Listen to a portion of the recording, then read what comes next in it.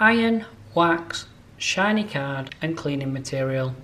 That's all we're going to need to create this beautiful picture.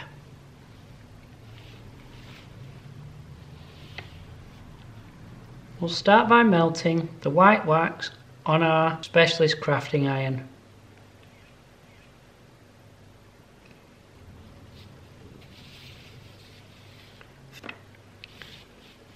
Smooth the wax across the shiny surface of the card.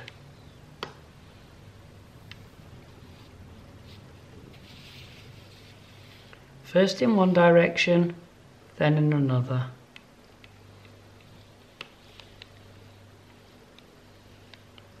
If you're not happy with the first result, don't be afraid to put on more wax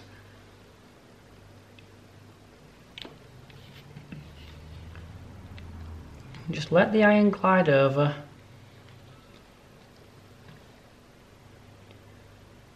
Giving you a pleasing finish.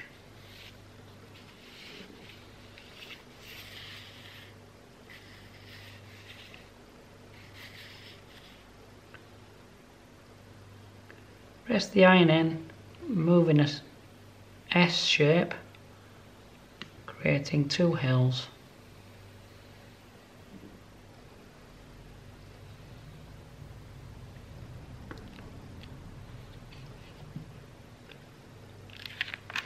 Take the shiny card in your hand, tap the two surfaces together like so.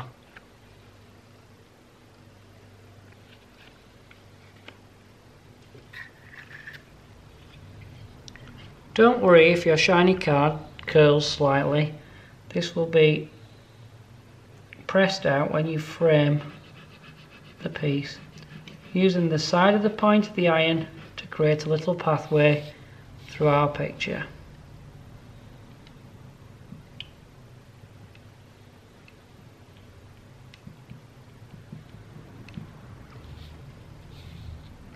Trees can be created by using the side edge of the point, lifting and thinning out at the top.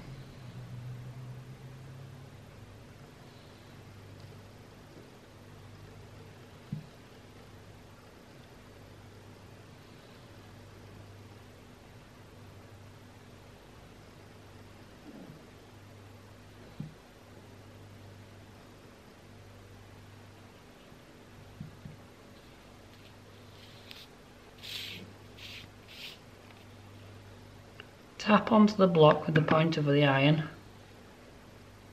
Tiny little speck. Flick and flick and you've got a large bird. Encaustic art only takes a few seconds in which to dry. That is now safe to touch. It can be polished with either a piece of tissue or a soft cloth. One completed piece.